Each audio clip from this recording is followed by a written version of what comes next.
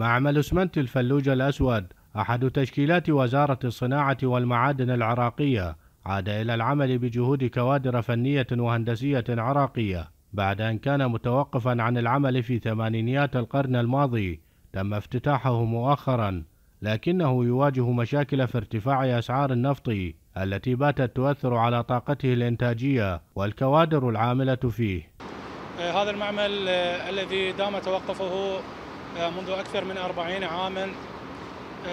وتم إبرام عقد مع الشركة الغربية لصناعة السمنت المحدودة بإعادة تأهيل وتشغيل هذا المعمل.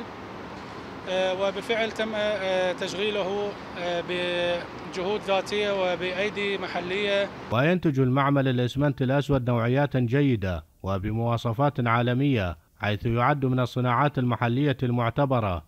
التي تضاهي المستورد وتسد حاجة الأسواق المحلية فضلا عن الإقبال الكبير من المحافظات العراقية لا سيما محافظة الأنبار. دخلنا مؤخرا جهاز الإكس راي للفحص الكيميائي والحمد لله بلش يطلع المنتوج من النوعية الزينة وينافس المنتوج المحلي وقابل للزيادة إن شاء الله إقبال جيد جدا نوعية جيدة جدا وبشهادة ال ال ال الوكلاء وإنتاجنا وده, وده إقبال وكلاء وإقبال مواطنين عليه وماكو أي مشكلة عليه جهود كبيرة تبذلها وزارة الصناعة والمعادن العراقية وكوادرها الفنية والهندسية في معمل اسمنت الفلوجة الأسود لسد حاجة الأسواق المحلية وفي خطوة لمحاربة المستورد والاعتماد على المنتوج المحلي.